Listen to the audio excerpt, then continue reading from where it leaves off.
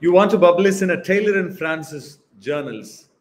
Taylor and Francis is always they are uh, they are very good uh, publisher. They publish a lot of quality journals.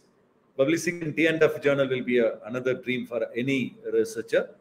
It's a quick, quick tip. I'll tell you how to uh, publish in that particular uh, journal. I'll show you the journal finder quickly, and I'll I'll share you the screen.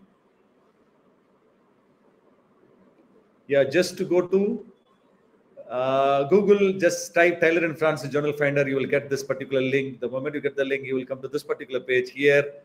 Whatever the abstract you have already written, copy it, and I have already copied it. So just I'm uh, pasting it. So it's only title. So let me go back and let me copy my abstract.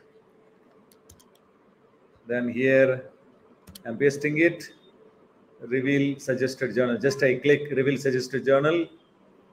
So immediately it comes. These are the journal suitable for my particular uh, paper which I have submitted, uh, abstract I have submitted.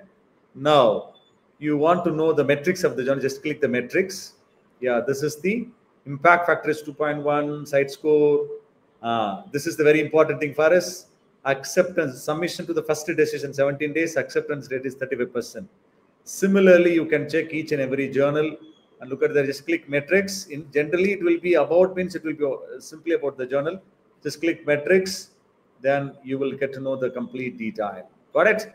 In case you want to understand you go here and uh, read more about understanding journal metrics uh, no no you, you don't require this learn more about this particular journal just to click and it will it will go take you there. For example yeah it has redirected to the particular journal. You can read read the author guideline understand the thorough their format then you can submit the paper to the journal.